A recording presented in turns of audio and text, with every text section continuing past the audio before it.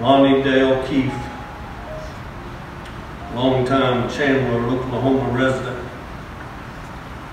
Was born October 3rd, 1941.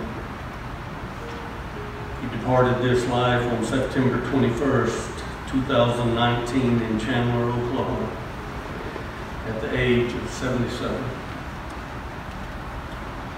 Lonnie was the son of Albert and Edith Keef.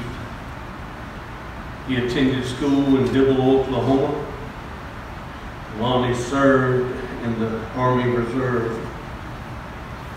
He married Geneva Danker on July 20th, 1979.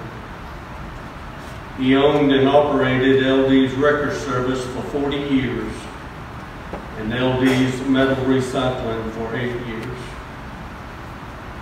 Lonnie enjoyed running the wreckers, rebuilding old cars, working with his hands and spending time with his family.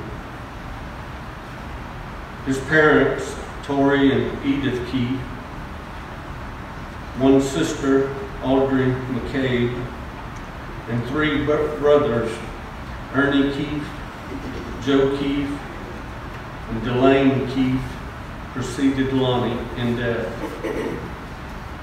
Survivors include his wife Geneva of the home, two daughters and sons-in-law, Vicki and Tony Jarvis of Chandler, Dee Dee and John Carl Peterman of Chandler, four grandchildren, Cheyenne uh, Wunderlich and husband Zach of Edmond, Katie Pe- Peterman of Edmond, Colton Jarvis of Stillwater, and Connor, Connor Jarvis of Chandler.